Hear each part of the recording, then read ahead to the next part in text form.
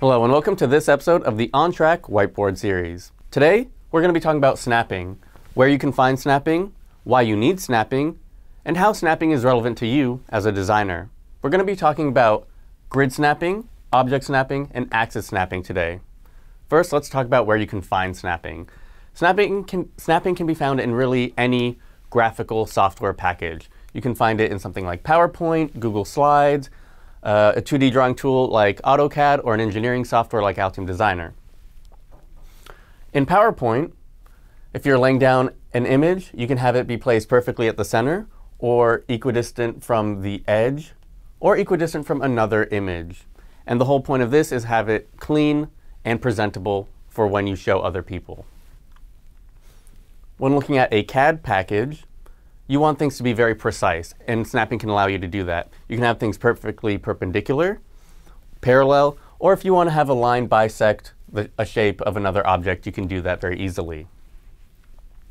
In terms of PCB design, snapping can, is really essential when it comes to uh, the schematic. If you want to give your schematic to your manufacturer for debugging, you want them to easily follow along so if they encounter any problems, they can quickly find a solution or find the problem.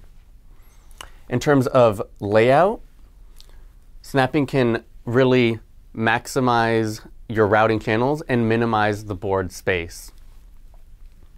So let's talk about grid snapping first. Grid snapping is really the most basic and you can find everywhere. It's great for drawing if you want to draw maybe like a straight line for uh, your title blocks. Also, it's very helpful for like components, uh, components with the same size and pitch. Things like chip resistors or capacitors. You can have the center of the object snap to the grid. Very useful. But what if you don't have the same type of components? Or you know, if you don't all have the same size and pitch? You can use object snapping. So object snapping is great for these situations. So let's have two components here.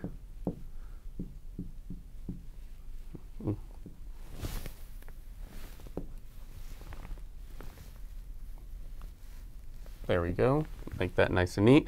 We can align the top of these objects together. And then we could maybe do our, our routing and adjustments. It's also great for placing objects. You can place components around an arc. You can place components to a line and make uh, nice lay layouts. You can have precise layouts for precise routing.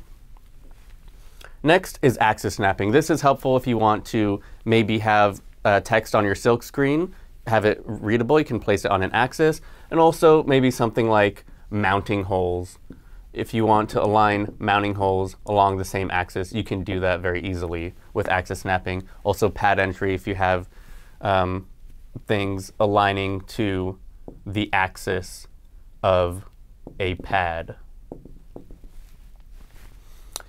The last thing I do want to talk about is the snapping, or the concept of a snapping area. And snapping area can be thought of as the event horizon of a black hole. Or at least that's how I think of it. So let's say we move our cursor from this side here, and we hit this uh, snapping area. Once we hit this border, we'll snap to the grid.